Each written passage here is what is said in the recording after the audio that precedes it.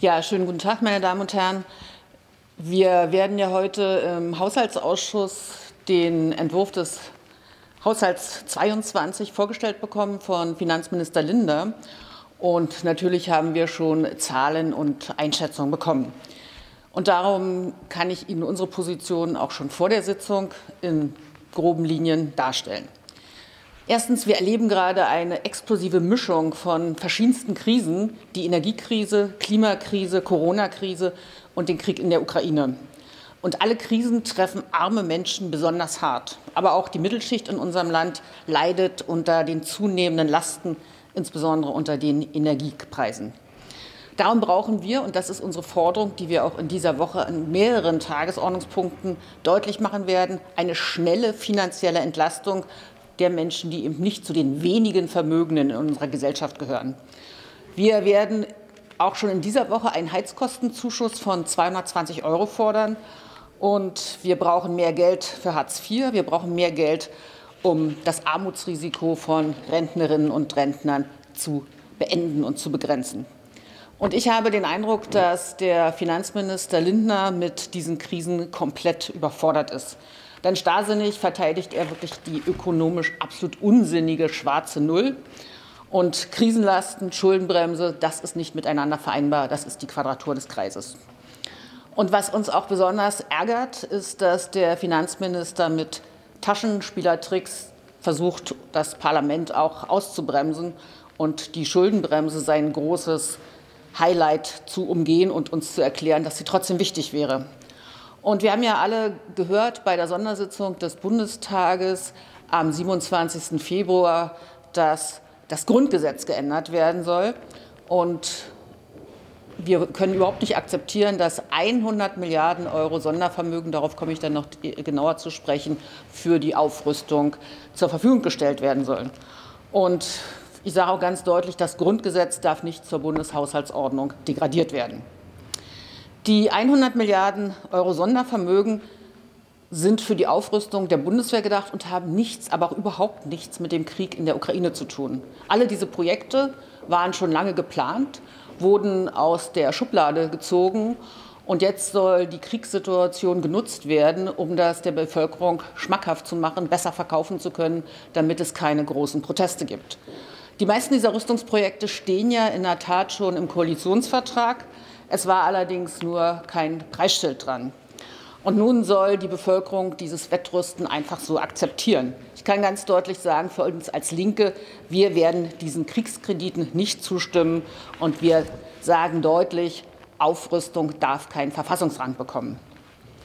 Und wir wissen jetzt schon, dass der Haushaltsentwurf der Bundesregierung sehr schnell von der Realität überholt werden wird. Die Abschaffung der Schuldenbremse ist ein nach wie vor aktuelles Erfordernis der Stunde. Die Regierung selbst hat ja schon einen Ergänzungshaushalt zu dem Haushalt, der heute erst vorgelegt wird, angekündigt.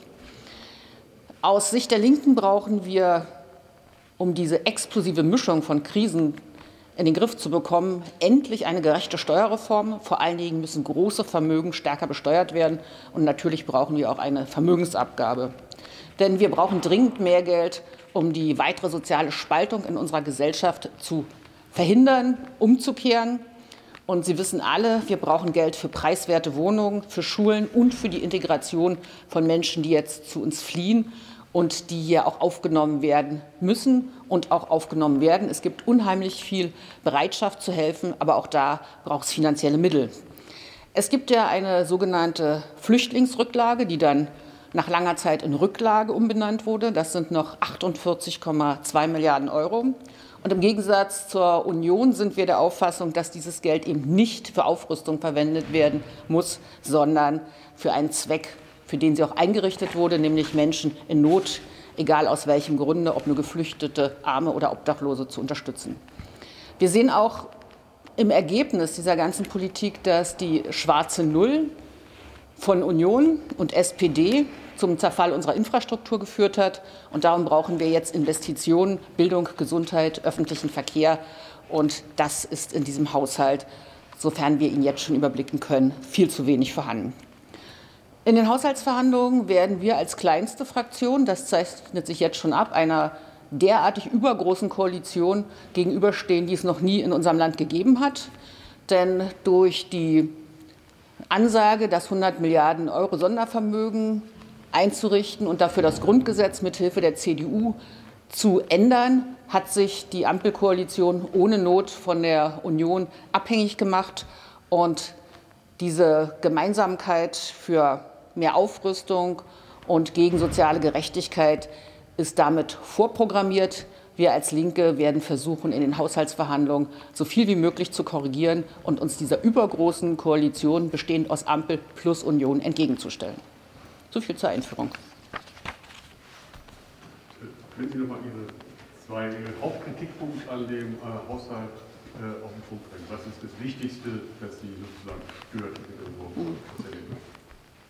Es soll im Zusammenhang mit diesem Haushalt ein 100 Milliarden Euro Sondervermögen für Aufrüstung eingerichtet werden und uns stört, dass Wettrüsten Verfassungsrang bekommen soll. Zweiter Punkt. Es sind keine Punkte zu erkennen, die für mehr soziale Gerechtigkeit in unserem Land sorgen. Alle schönen Vorschläge von Kindergrundsicherung, Bürgergeld sind Worte, aber im Haushalt nicht abgebildet. Äh, was wären Ihre Hauptforderungen? Unsere Hauptforderung ist kein Wettrüsten, keine weitere Aufrüstung, keine Veränderung des Grundgesetzes. Und zum anderen sind unsere Hauptforderungen Investitionen in Bildung, in Gesundheit, in soziale Infrastruktur. Wer soll am Ende das Ganze bezahlen? Ist die Frage des Adressaten der Rechnung offen geblieben? Es wird äh, versucht, den Leuten weiszumachen, als viele das Geld vom Himmel. Aber letztendlich wissen wir ja jetzt schon auch aus der Corona-Krise, dass das Geld immer denen oder die Kosten denen aufgebürdet werden, die am wenigsten haben. Unsere Forderung ist endlich, zu einer gerechten Steuerreform zu kommen und Vermögensabgaben zu erheben. Ein Wort zur schwarzen Null. Lässt die, lässt die sich halten? Wie stehen Sie dazu? Die schwarze Null ist eine Chimäre. Die schwarze Null wird sich nicht halten lassen und sie ist auch gar kein sinnvolles Ziel. Die äh, Schuldenbremse ist wirklich äh, ein ökonomischer Unsinn. Das sagen auch Leute, die mit der Linken gar nichts zu tun haben, sondern auch viele renommierte Wirtschaftswissenschaftler inzwischen. Okay, vielen Dank. Danke Ihnen.